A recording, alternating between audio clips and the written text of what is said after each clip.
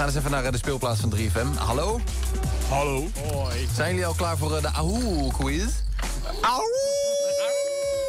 Even kijken hoor, of ik hem eh, al heb. Ja, dat is wel goed.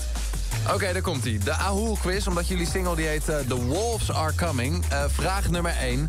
Ahoe heten de speciale wolven in de fantasy-serie Game of Thrones.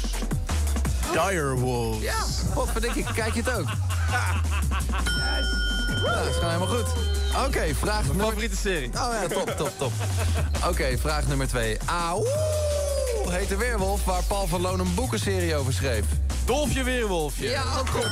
Twee punten Lees in ik de voor pocket. aan mijn dochter. Elke Ja, lees je stiekem voor jezelf. Hey. Nee, stiekem hoor.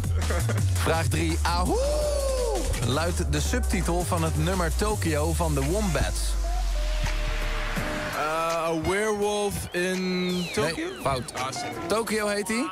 En dan tussen haakjes heb je... Ah, nee, sorry. Oh. Vampires and Wolves. Hmm.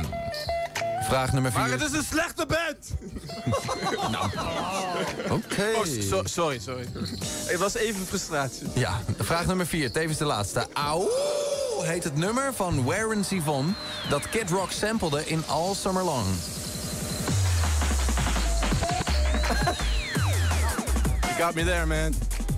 Werewolves of London. Ken je die niet? Nee, ken ik niet. Ah, dat is het, ik, even een klein stukje hier, want het, eh, hey, als jullie toch een wolvenband zijn, dan moeten jullie dat wel kennen. Eh, dit is hem.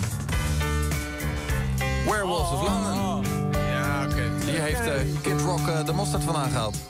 Ik hoor het. Ja. Nou, toch, toch drie uit vier. Dat vind ik knap hoor. Ja, toch? Van harte. Hey,